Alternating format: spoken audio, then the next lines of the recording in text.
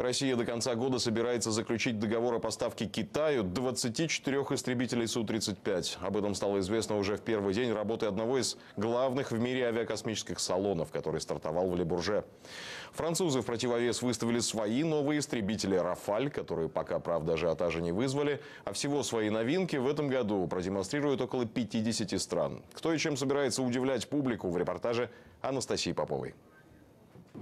Главный акцент на экологии, но главный упор на военной технике. Хозяева авиасалона, французы, поднимают в небо истребители. Следом за ними идут военные транспортники. Пропустившие из-за кризиса прошлый салон, американцы привезли на Лебурже сверхновые беспилотники. Россия представила макеты своих истребителей, систем ПВО, боевых и транспортных вертолетов, способных работать в любых погодных условиях, даже ночью.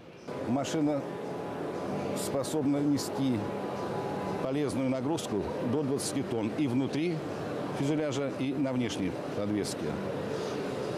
Кстати, американцы Чинук показывают. Вот эта машина Чинук вытаскивала. Но Чинук эту машину никогда не вытаскивал.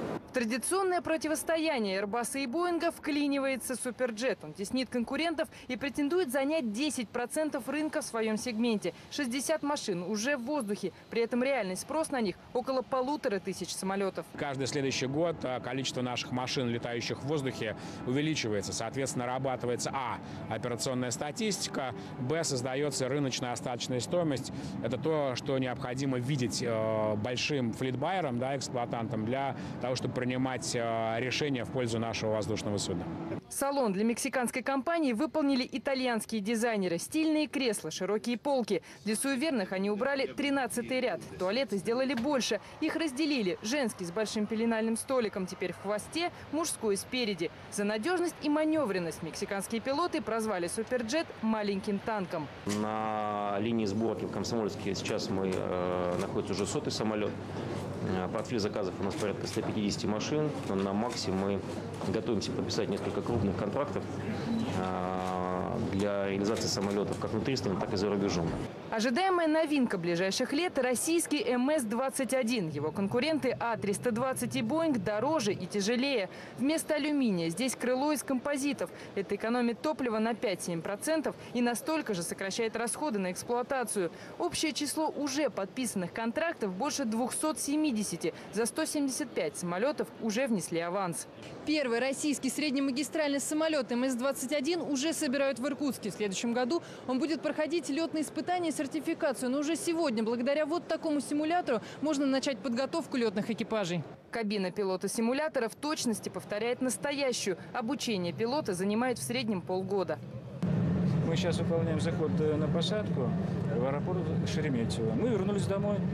По сравнению с конкурентами, у МС-21 будет самый широкий фюзеляж – 4 метра. Как говорят конструкторы, русский размах. Двигатели делают в Перми, шасси в Нижнем Новгороде, двери в Ульяновске. География – почти вся Россия. Это Ульяновск, это Воронеж, это Иркутск, это Москва. У нас практически самолет на сегодняшний день 60% это все производство российского. Это компоненты, которые входят. Впереди несколько дней постоянных встреч и переговоров. К примеру, о создании российско-индийского военного транспортника. Идет подготовка новых контрактов, которые планируют заключить на авиасалоне в Жуковском в августе этого года. Анастасия Попова, Илья Бернацкий, Вести, Ле Бурже, Франция.